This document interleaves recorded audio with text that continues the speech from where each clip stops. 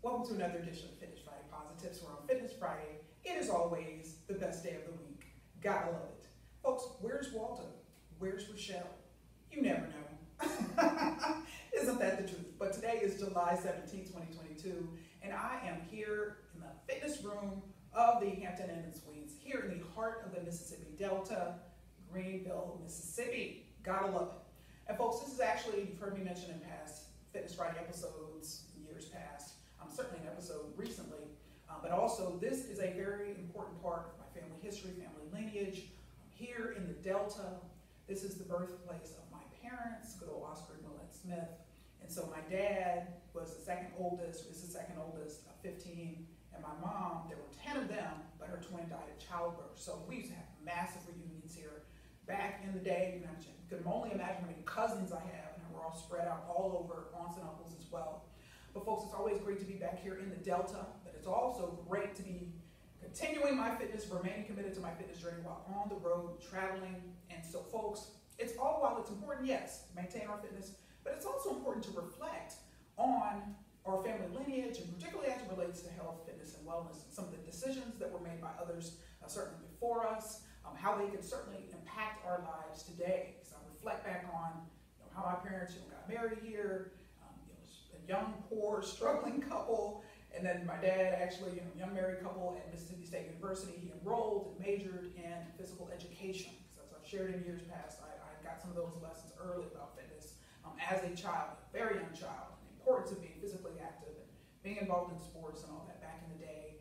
And so it is so important to just reflect on how you know decisions that others have made and how they positively impact us. After we graduated from Mississippi State, um, you know, we came back, came back here, taught for a while, and joined the Navy. And that's actually how I ended up being a Navy, baby. Um, so things were just interesting, just so, you know, I look back in hindsight, of course, being right here, where we often say where things started, um, and just how important some of those early decisions were, and, and just you know, I'm just very humbled and I'm just very grateful.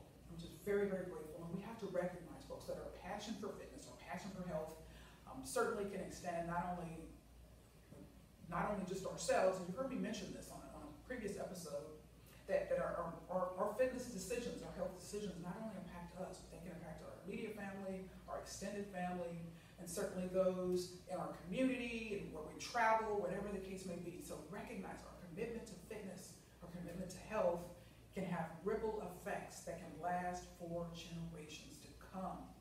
So let's continue to remain fit, committed. Let's continue to remain, keep our fitness at the forefront of our minds, at the forefront of our lives as we move forward um, in life and just recognize truly what a gift it is, what a gift it is.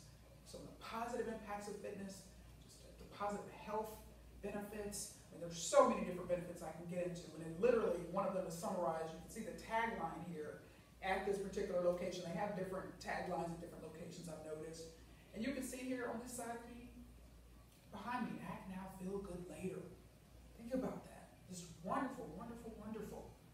All right, I've highlighted, yes, edge fitness and how beneficial that is. You know, better out there starts in here.